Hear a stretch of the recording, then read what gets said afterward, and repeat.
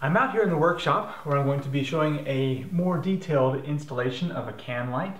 And also, I am partnered in this video with Mulcolor to install some lighting here. So uh, we'll also be getting these bulbs installed after I get this can light in. So let's get started. The first thing that I want to do is get these installed up on my joists here. So it's got this nail that can be driven in to kind of to hold things in place while you get screws in. But it's kind of difficult uh, to get that installed in my situation. So I'm just going to go straight to screws. So, and also this will expand to fit the different size uh, spacing in your joist. Okay, I have my can light here. I want the box for the electrical work to go towards the back wall here. So I'm also going to be lining up this piece and this piece with the end of this board down here. So I'm just gonna get this into place and you can kind of use that nail as just a little guide to keep it in place. But like I said before, I'm going to be using some screws right off here. So I'm going to use some one and a quarter inch screws to get this attached up here. And just going to line it up where I want it, right there, and then put these screws in.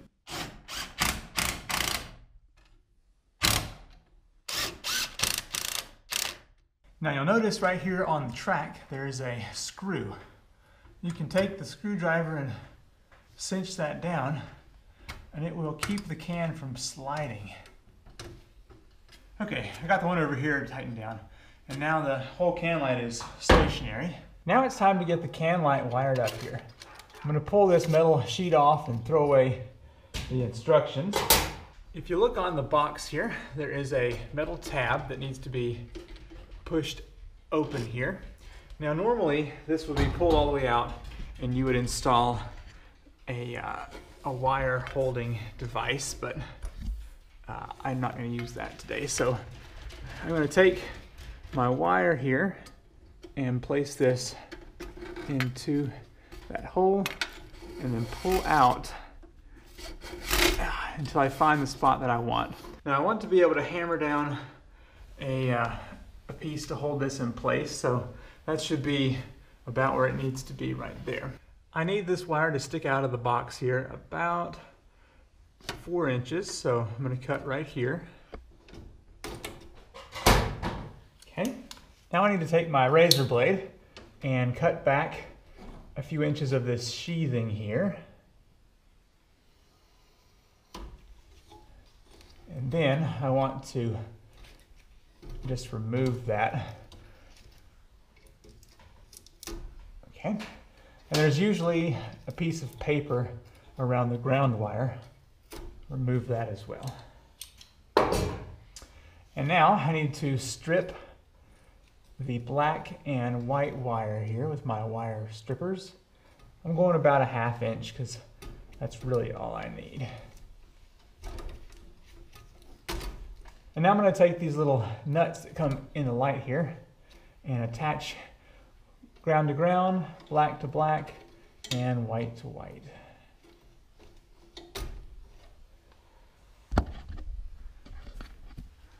Close up of what this looks like here. So yeah, each of these just has a place you can slide that wire into. And you can see it up here in this clear piece, so you know that it's there. Then I'm going to push this in the box. I do need to fold this tab back, kind of holds the wire in a little bit. And lastly, reinstall this plate. And that completes the installation of the can light.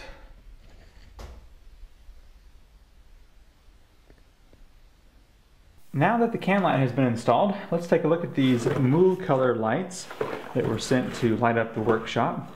They are a 3000K, which means they're more of a yellow than a white color. Um, you can see I've already tested one, but just your standard light bulb screw on down here. And uh, so some of the technical specs of these lights, they are 9 watts, which is pretty awesome and 800 lumens, 270 degree beam angle. um, no mercury, and uh, they're eye friendly, which is really awesome. So uh, if you'd like to check these lights out, I've got a link in the description. And also you can uh, copy paste the uh, code and uh, get these for an even better price. So check that out. Let's pull them out here and get them installed in the can lights and see how bright they are. Okay, I'm gonna pop out the little red plastic piece here and just screw the bulb in like you would any typical bulb.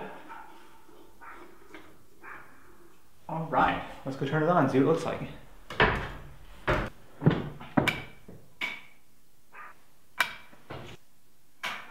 Well, that completes the installation of all the can lights and the Mulcolor bulbs.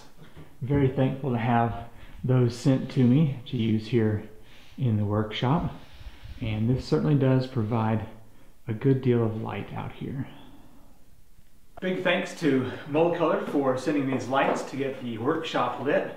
If you would like to check out this company, I have the link in the description below and be sure to use that promo code so you can get uh, a discount. Thank you for watching. If you've enjoyed this video, hit that thumbs up button. And uh, if you know somebody that would like to see how these can lights are installed, um, please click that share button and share to Facebook, YouTube, Twitter, all that good stuff. Thanks for watching. I'm Seth Johnson with Land to House, and I will see you in the next video. Bye. Now, this comes with a screw. Oh boy, that's not a screw. oh man.